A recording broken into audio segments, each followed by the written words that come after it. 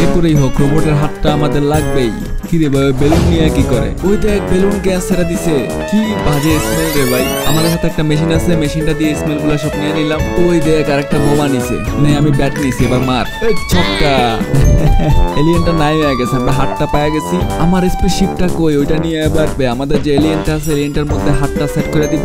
ওরে দিয়ে ঘরের কাজ করাইতে পারব।